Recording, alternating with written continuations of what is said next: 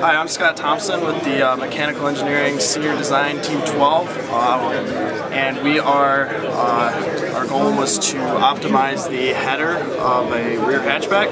um, and what that means is to reduce the thickness of that. The advantage to reducing the thickness of the rear header is that we can lower the roof height, and by lowering that roof height, uh, we can improve fuel economy. We were able to reduce the roof height by 41 millimeters, which translates into about a half a mile per gallon um, for the vehicle in the future.